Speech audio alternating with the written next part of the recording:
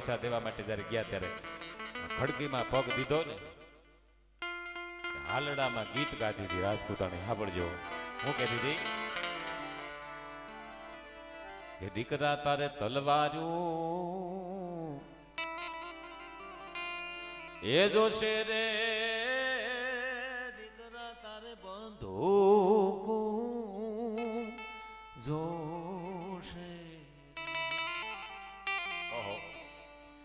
તલવારું એ જોશે રે. તારે બંધુકું જોશે દુશ્મનોના એ માથા માઢવાને દીકરા તારે. હેજી બંધુકો જોશે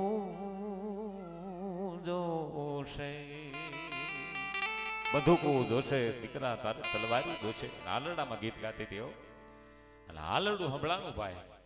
સુરવીરતાનું હાલરડું કલેક્ટરને કાને પડ્યું ઓહો, હો હો કલેક્ટરે હાથ કર્યો છે કોઈ? દીકરી ઘોડિયાની દોરી મૂકી અને રાંભલીના ટેકે ઊભી રહી. કોણ ભાઈ? તો તમે કલેક્ટર. ગવર્મેન્ટે આપણા માટે રૂપિયા મોકલ્યા છે. તમારા પતિદેવ ભારત દેશની ભૂમિમાંથી શહીદ થઈ ગયા છે. એનું મહેનતાણું અને અમુક પૈસા આપવા માટે અમને મોકલ્યા છે. ત્યારે એ દીકરી આ દેશની એક શક્તિ સાહેબ જવાબ આપે એ સાંભળજો.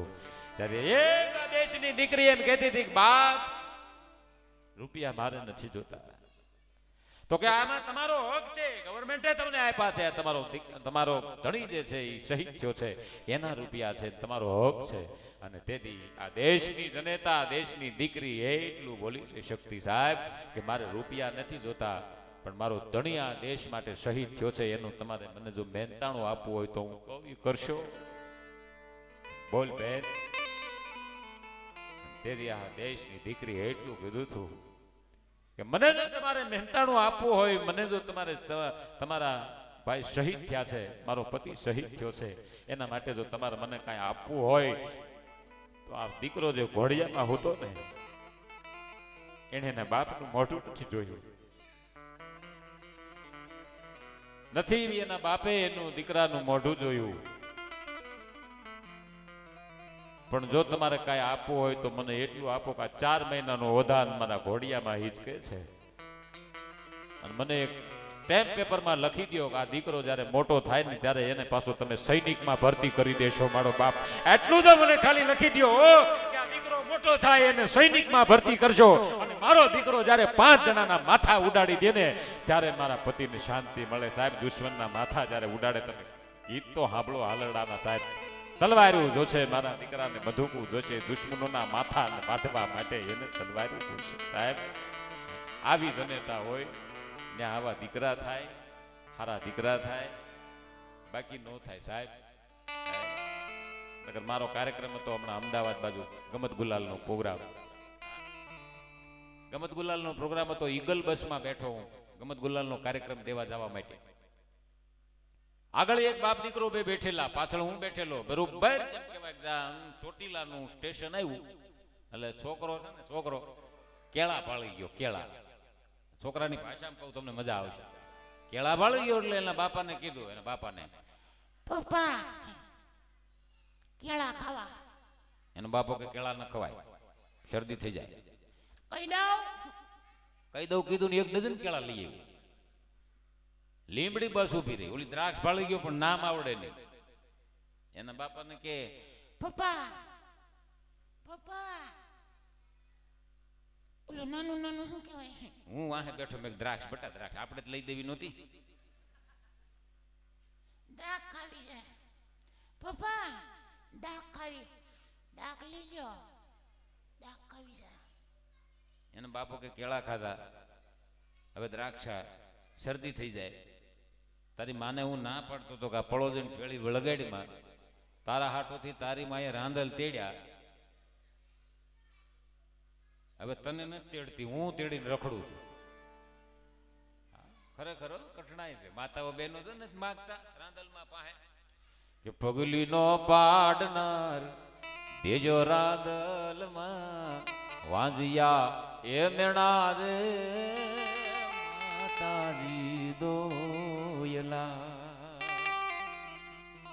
પછી પાણી ડાભરીને ઊભી રહી છેડલાનો જાલનારો બીજો રાંદલમાં વાંજિયા, એ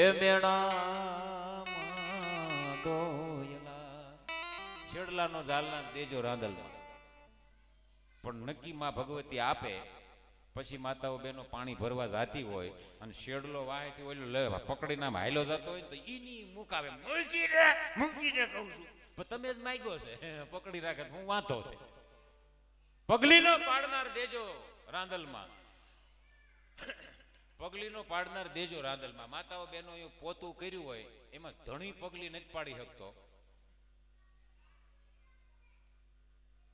તો છોકરાની મજાલ છે પગલી પાડે. એક જગાને એક જણીએ તો એનું પતિનું ખૂન કરી નાખ્યું. પતિનું ખૂન કરી નાખ્યું સાહેબ. પોલીસ આવી. પોલીસ આવી ને એટલે બહારથી પૂછ્યું એને કે ભાઈ કેમ ખૂન કરી નાખ્યું? કે બરોબર, તાજે તાજું પોતું હતું, કરેલું. અને એમાં એને પગલા પાડ્યા, પતિએ. મારી નાખ્યો સાહેબ. કેટલી કાળજાળ બાઈ છે એટલે બોલા પોલીસવાળા એ ફોન કર્યો સાહેબ ને કે ભાઈ અહીંયા ખૂન થઈ ગયું છે. તો કયા બારામાં? તો કે પોતું લીલું હતું. અને પતિએ એમાં પગલા પાડ્યા. એમાં બે જણા બાજ્યા બાજ્યા એમાં પત્નીએ કાંઈક દસ્તો માર્યો માથામાં. હેમરે થઈ ગયું ગુજરી ગયો. એટલે ઓલા સાહેબે કીધું, ડીવાયએસપી સાહેબે, કે તો એ બાઈની ધરપકડ કરી લ્યો. ઓલા પોલીસવાળા શું કે, ખબર, હજી પોતું લીલું છે.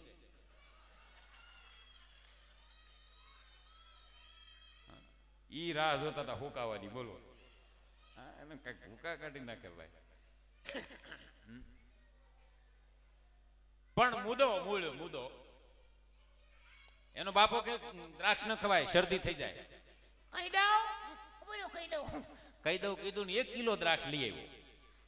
મને આળું એમ થયું મેં કીધું આ કહી દઉં મારું બેટું કંઈક છે કરું. જે હોય તે. મેં એક બે વાર કીધું કહી દઉં એમ પાછળથી. મને કે તૂટો શાંતિ રાખી. પછી લોજે બસ ઊભી રહી લોજ. ત્યાં પેંડા ને બધું હોય કાચની બૈણીમાં હોય બધી. એટલે છોકરો પેંડા ભાળી ગયો એટલે એનો બાપ બારી પાસે બેઠેલો છોકરો આ બાજુ બેઠેલો હું પાછળ બેઠેલો એટલે બાપ છે એ આમ બારીની બહાર મોઢું રાખીને બેહી ગયેલો અને છોકરો આ બાજુ બેઠો હતો પેંડા ભાળી ગયો અને બાપાને કે પપ્પા પેંડા ખાવા સૂર્ય બહેનીમાં પેંડા ખાવા છે. એનો બાપો સાંભળતો નતો સાંભળતો હતો પણ નાટક કરતો હતો બસ ઉપડી જાય આપણે લેવા દઈએ. હા? પપ્પા પેંડા ખાવા. પપ્પા પપ્પા. મેં કીધું પાછળથી મેં કીધું આ બોલાવે તમારો બાબો. મેં તમારો બાબુ બોલાવે છે. તો મને કે તમે સાંભળો છો. મેં કીધું આ તો મને કે લઈ ગયો. મેં કીધું તો હું નથી સાંભળતો ભાઈ. કીધું મને નથી સાંભળાતું ભાઈ. પણ એ પછી બારી પાસે મોઢું રાખીને બેસી ગયો ને આને ચાલુ કર્યું ભાઈ. પપ્પા પપ્પા પેંડા ખાવા પપ્પા પેંડા ખાવા પેંડા. પછી બાપો સાંભળતો હતો ને પછી છોકરાએ વેગ પકડ્યો. કેવો પકડ્યો એ હું કહું અહીંયા રજૂ કરું તમને. પપ્પા પેંડા ખાવા સાંભળતો કેમ નથી? લોબડીન પેટનો. પપ્પા પપલીના પપુડીનો. સાંભળતો પીંડા ખાવા છે. પીંડા લઈ દે પપલીનો શું છે? પીંડા ખાવા છે. કેટલાક સો આવા પેઢીમાં? લોભડીનો પેટનો. પીંડા નથી લઈ દેતો કહી દઉં ઉભરો કહી દઉં. કહી દઉં, કીધું ને ધાડ જોયું હામું ભાઈ લઈ આવું છું, બે શાંતિથી બૈણી આખી ઉપાડી ખોળામ નાખી. ખાઈ ગયો, ઈ ખાઈ ગયો. પણ અમદાવાદ ગમત ગુલાલનો કાર્યક્રમ હતો, એટલે મેં કીધું ગમત ગુલાલનો પ્રોગ્રામ હાસ્યનો થાય કે ન થાય, પણ આ કહી દઉં જાણવું છે. અને મને તાલાવેલી લાગેલી સાહેબ, તમને લાગી ને? એ મને દીદી એમ થયું હતું, માંડ અમદાવાદ આવ્યું મેં પૂછું પણ ઓલો ખારમાન કદાચ કંઈક અવળો જવાબ આપે.